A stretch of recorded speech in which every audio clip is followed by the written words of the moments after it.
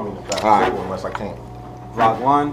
Hey, coach, I don't know. Got Joe. He's fighting two on Saturday. Hey, Got EJ. Got Coach Romy. hey, I'm walking out to this shit. So, um, Hey, yeah. Coach, I'm walking out to this, man. This is the about to take off from Rancho. Fucking show, Michael Say bye to the gym.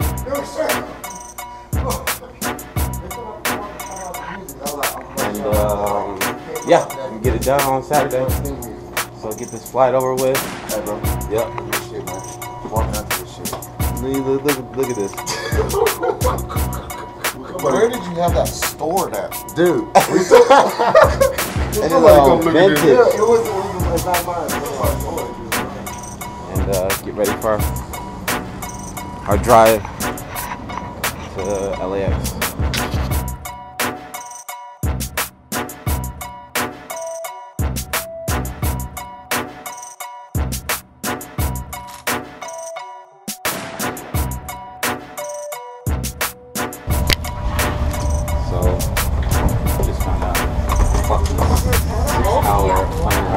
Thought it was a four hour.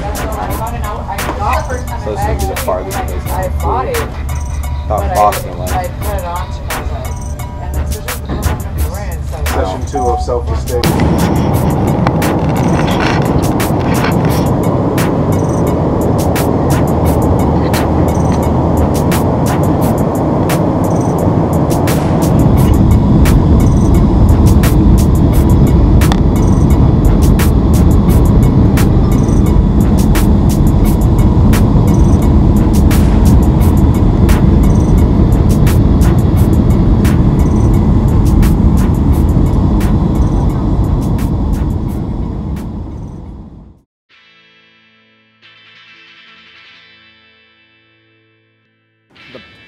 Problem I have with flying, man, is um, is everything, man. It's crashing, it's dying.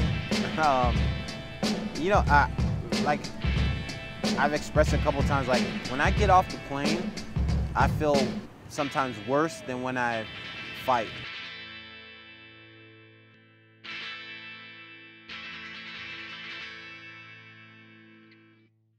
This is like I'm sitting on a beach and it's like the water is like I don't know, you think it's like 75, 70 degrees. It's like it's now I understand why people move here, you know. I could never move here because I'm I'm just a Cali boy, but this is great. Like I understand all the all the music videos I've watched since a little kid. I feel like I'm living it every day.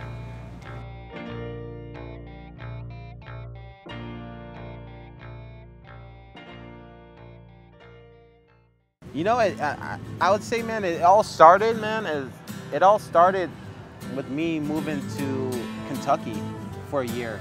You know, I I, I did an amateur boxing show in 08 and and won it. It was a boxing a big boxing tournament in in, uh, in California.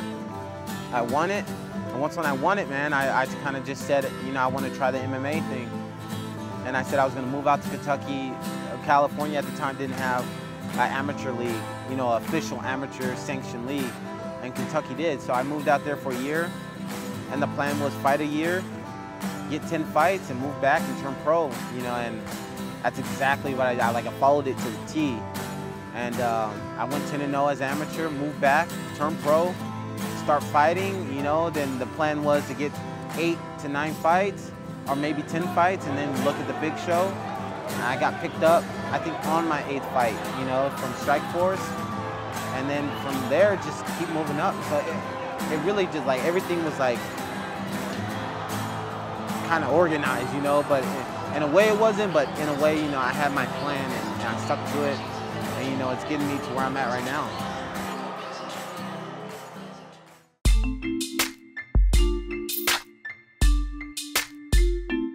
I started uh, I started amateur at heavyweight. You know, I was at like 240.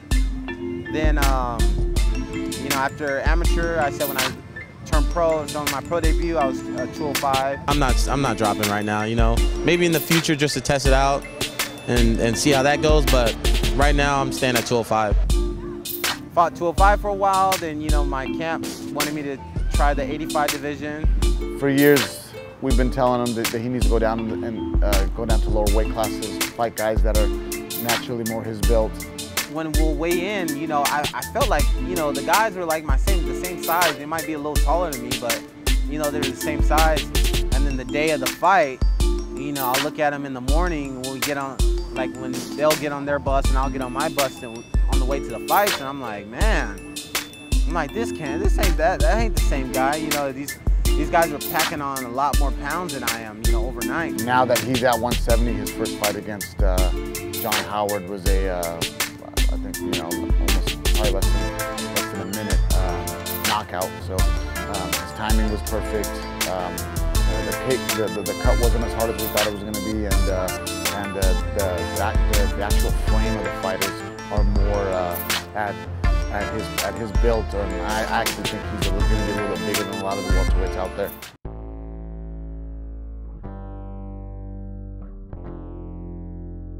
Yeah, well, that's kind of the biggest concern when you start dropping weight classes is is how do you adjust with the speed? You know, I, I don't even know, man. Uh, um, I believe I'm fast. You know, snap. Anyway. I train flyweights. I have a lot of guys in different weight classes, and Lorenz at 205 hands were just as fast as some of those guys.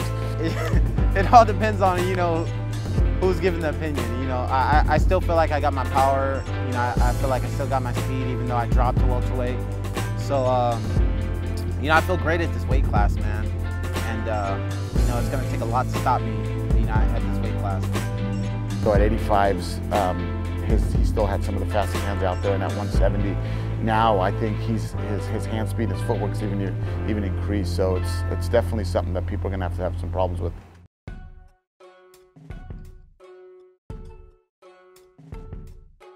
Um, the fight with him and Santiago, I, I, I like the matchup. Um, I think Santiago's, um, uh, you know, a, a, a, tough fighter. You know, he's, he's, he's done well for himself.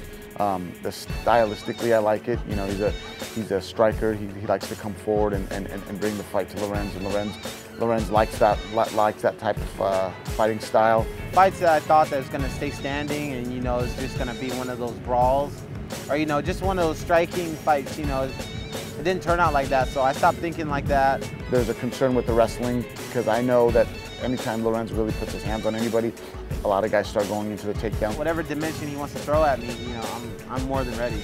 I think at this new weight class, he's a lot harder to deal with with the wrestling because he's been working on it a lot and he's just not fighting some of these big guys that he was dealing with at 185 and 205.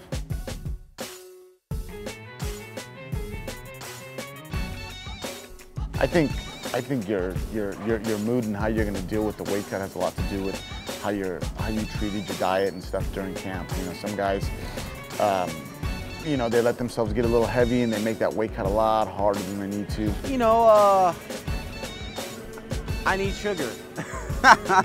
you know what I mean? And uh, you know, a little bit of candy right before I train ain't hurt nobody. You know, it makes me feel good mentally and physically. Lorenz knows at 170 he's got to really watch what he's eating. You know, I stay away from soda, you know, but um, I got to have some type of candy, some type of sweets. You know, it just, it makes me feel good. It makes me one with myself. For, for the weight cut, especially these last couple hours, the big difference for me is him just keeping a good eye on that diet. You know, it's, uh, it's Thursday. I'm at, uh, when I left the hotel, I was at 80, 82. So, you know, I got about 11 and a half pound cut. Thursday night, I'll do my sauna suit cut. And that's when I'm pretty much I hit mitts per hour and drop however much weight in an hour. And then pick up in the morning, you know, uh, for the rest of the weight in the sauna.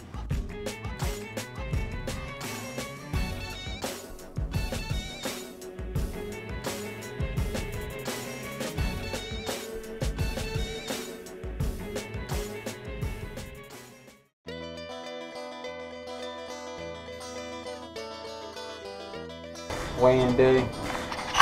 Uh, me and my bro, Monsoon. yeah, his name's Monsoon. That's where I got it from. You're So, uh, as you can see, I'm all, I'm all weight. I look like a little raccoon right now. got dried mouth. Now we're in Joe's room. Oh, look at this shit. Look at Big Sexy. Yeah, he wanna wear the joggers like his big bro.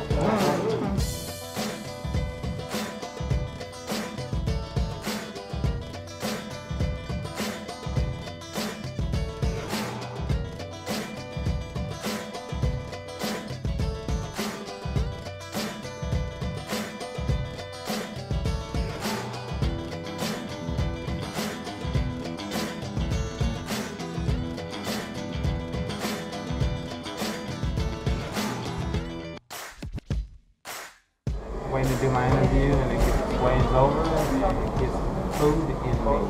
I'm starving. No, back at the weigh-in, bro.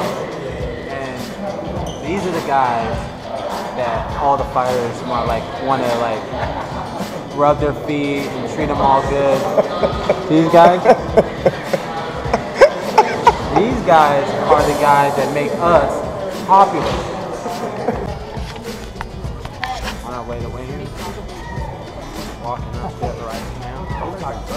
My big bro, Monsoon.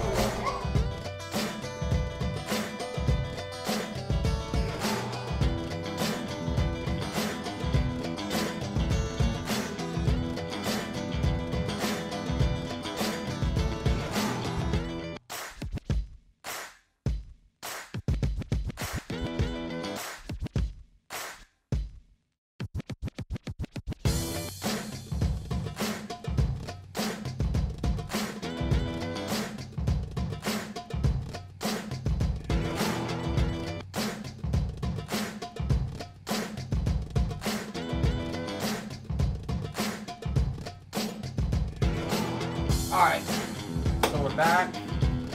I just weighed in. Um, it's probably been about half an hour, something like that. Not done yet, but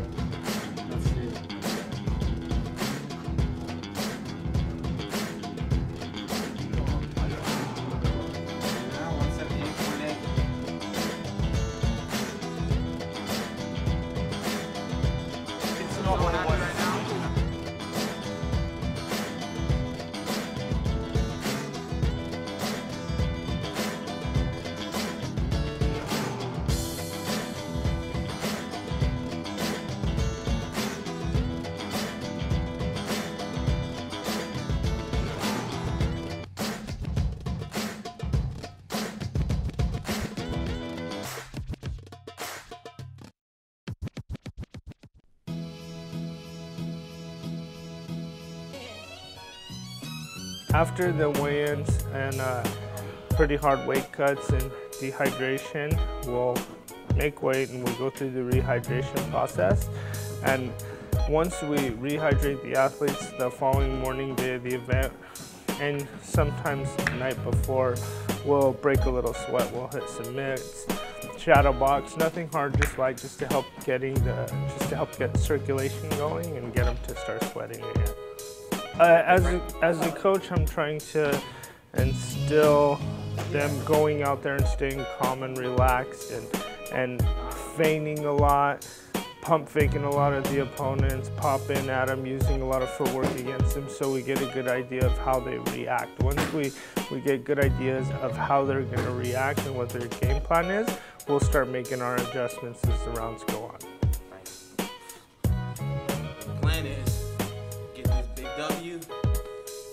Big bro gonna throw his leg over the cage. Catch that shit. It's not joking either. I'm not making fun of amputees because my brother's an amputee. But that's how comfortable we are. So don't be like, oh, you making fun of it and all this other shit. My brother went through some real shit. That's what happened. Cards back there. You want to run? Do I have permission to say On the way this is the venue.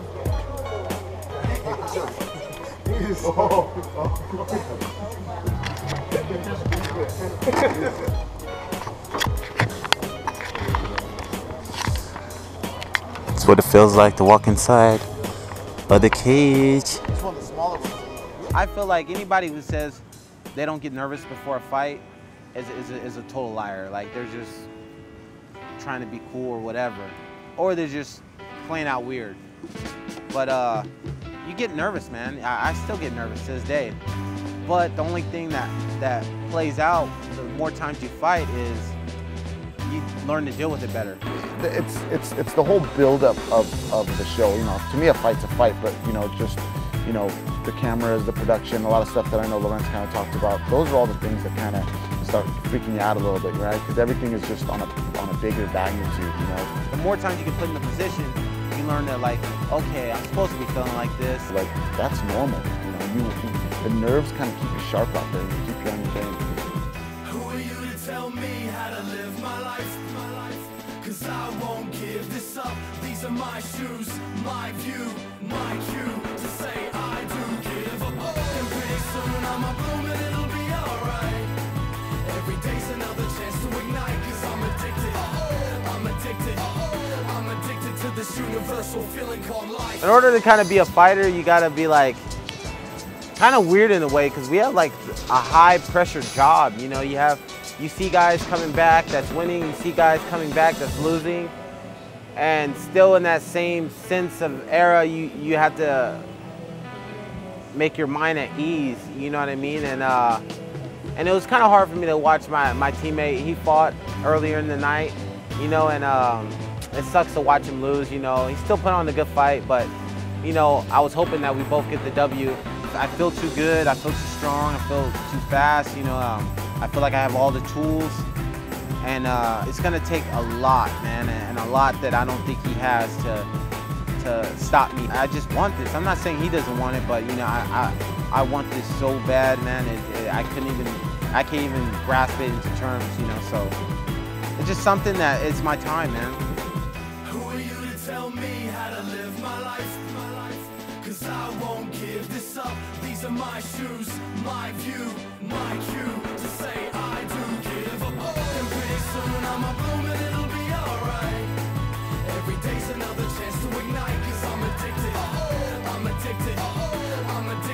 this universal feeling called life. really start just feeling the vibe, you know. It's like I feed off of the crowd, I feed off of the experience, the the loudness and I feed off of his corner, you know what I mean? It, I feed off of so many things that these are the things that get me so comfortable, you know, and I feel like now finally, you know, after the, these all these fights that I've been in, I'm starting to get in the cage and I'm starting to feel at home. I'm at that point, like I, I like I said, you know, nothing against Santiago, but it's not his time yet. You know what I mean? I feel like it's my time right now, and, and not too many people are gonna be stopping me. You know, the fight went how how we wanted it to go. You know, and um, and we got fight of the night, so you know we did a good thing. I want to prove to UFC that they did the right thing in keeping me. Who are you to tell me how to live my life? My life? Cause I won't give this up. These are my shoes, my view, my cue